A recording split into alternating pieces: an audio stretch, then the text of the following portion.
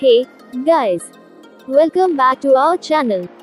Today, I'm going to show you how to make delicious buffalo wings. Whether you are having a game night with friends or just want a tasty snack, these wings are sure to hit the spot. So, let's get started. Ingredients 2 pounds of chicken wings, 1 quarter cup of all purpose flour, 1 quarter teaspoon of paprika, 1 quarter teaspoon of cayenne pepper, 1 quarter teaspoon of salt, 1 quarter teaspoon of garlic powder, 1 quarter teaspoon of black pepper, 1 quarter cup of hot sauce use your favorite brand, 1 quarter cup of unsalted butter, 1 tablespoon of honey, vegetable oil for frying.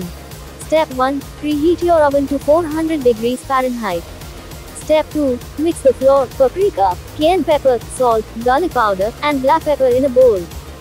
Step 3. Coat the chicken wings in the flour mixture and shake off any excess. Step 4. Heat vegetable oil in a deep fryer or large pot to 375 degrees Fahrenheit. Step 5. Fry the chicken wings in the hot oil for 12 to 15 minutes or until they are golden brown and crispy. Step 6. While the chicken is frying, melt the butter in a saucepan over low heat.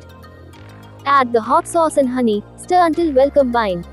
Step 7. Once the chicken wings are cooked, place them in a bowl and pour the hot sauce mixture over them.